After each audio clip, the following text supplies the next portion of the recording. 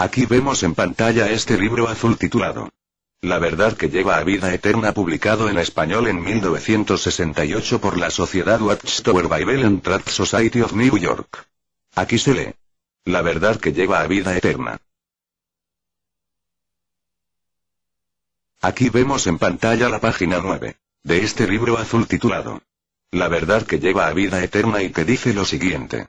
Veamos.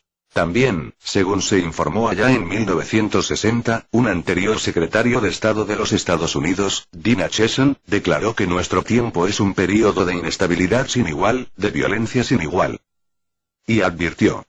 Sé suficiente de lo que está pasando para asegurarles que, 15 años desde hoy, repito esto nuevamente, sé suficiente de lo que está pasando para asegurarles que, 15 años desde hoy, este mundo va a ser demasiado peligroso para vivir en él. Mi comentario es el siguiente.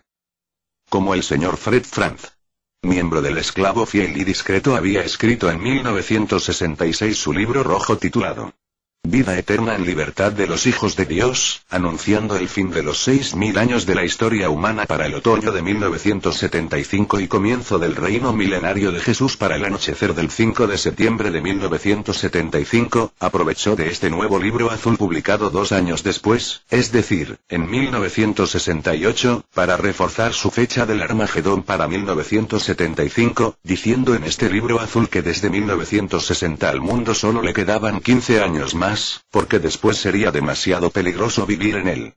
Para ello, como hemos leído en este libro azul, se utilizaron las expresiones del secretario de Estado en 1960, el señor Dean Acherson, para apoyar que el fin sería en 1975, es decir, el año de 1960, más 15 años más, llegando a 1975 como fecha límite en que sería demasiado peligroso vivir en este mundo.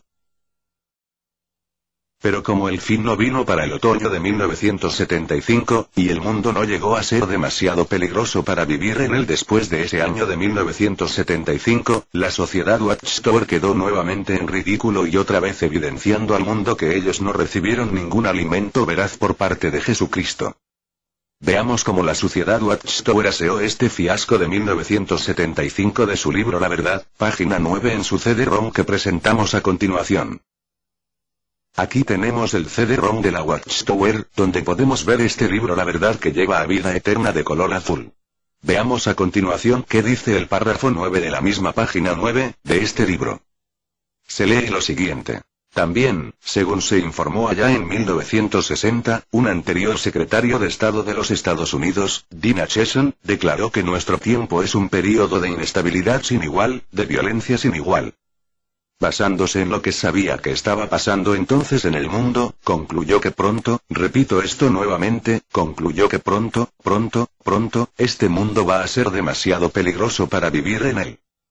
Aquí vemos la patraña de la sociedad para ocultar sus falsedades, pues en el libro original de 1968 y que ya hemos leído antes, decía que el secretario de Estado Dina Chesson había afirmado en 1960 que al mundo solo le quedaban 15 años más, es decir que para 1975 el mundo sería demasiado peligroso para habitarlo.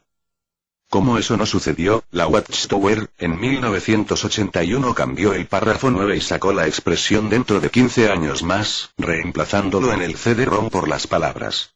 Concluyó que pronto, concluyó que pronto, concluyó que pronto, con el fin premeditado de engañar y sorprender a los testigos de Jehová que usan este detergente CD-ROM de la Watchtower. Aquí vemos las mismas páginas 9 y párrafos 9 de las ediciones de 1968 y 1981 respectivamente del libro. La verdad que lleva a vida eterna. La edición de 1968 está a la izquierda y la edición de 1981 está a la derecha. En la edición de 1981, después que pasara el año de 1975 sin el Armagedón, el esclavo fiel y discreto borró en forma fiel y discreta su mentira, tal como vemos en pantalla. Observemos pues la chanchada. A la izquierda dice dentro de 15 años, mientras que en la derecha dice, concluyó que pronto. Ya no aparece la frase, dentro de 15 años, como se lee en la edición original de 1968 del lado izquierdo. Esta no es la única barrida bajo la alfombra que realizó la sociedad Watchtower. Ya en otro vídeo presenté cómo la sociedad Watchtower borró en forma fiel y discreta, intencionalmente para ocultar, engañar y sorprender a los nuevos testigos de Jehová y público en general que revisan los CD-ROMs, para que jamás se enteren de sus fracasos en fijar sus fechas del fin. Desliz en la atalaya. En la Atalaya 1 de enero de 1989, página 12, al final del párrafo 8, escribe. El apóstol Pablo encabezó la actividad cristiana misional. También sentó las bases para una obra que se completaría en nuestro siglo XX. Sin embargo, en el tomo anual de la Atalaya y el CD-ROM para ese año, la última frase se modificó así. También sentó las bases para una obra que se completaría en nuestro día.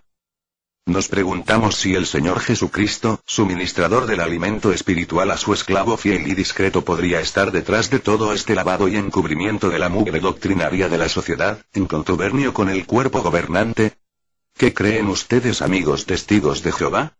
¿Será acaso este encubrimiento parte de su doctrina de guerra?